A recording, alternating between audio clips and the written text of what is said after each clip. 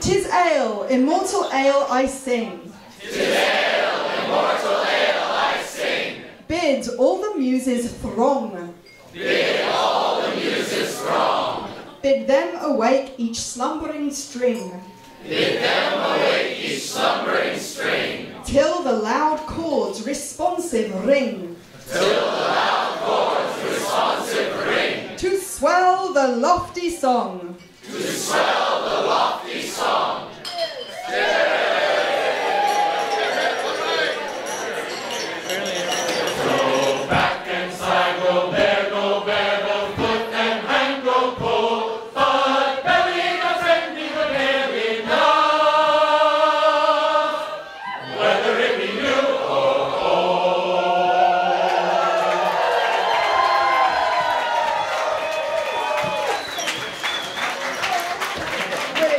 So, seeing uh, as we're here at this great artisanal beer and music venue in downtown San Francisco, what could be more perfect than launching VoiceBox Live with a show dedicated to exploring the ancient global link between drinking and singing? Yes.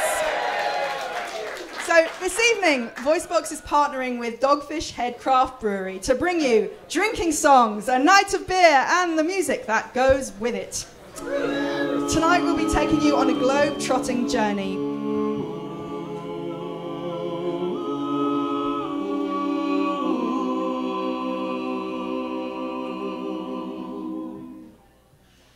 진허처 탐춘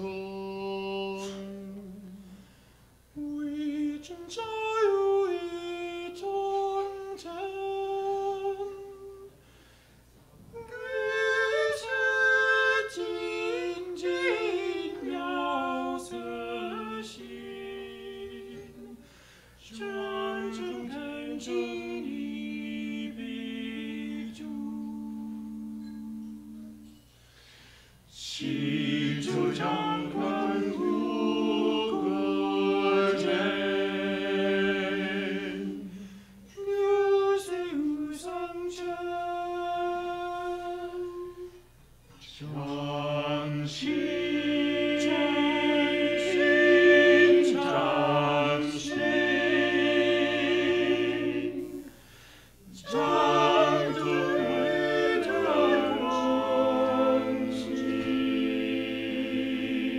Emperor Kia, the so called Nero of China, in 1836 BC, ordered 3,000 of his subjects to jump into a large lake that he had filled with beer. Come, let us drink it while we have breath, for there's no drinking after death. And he who will his health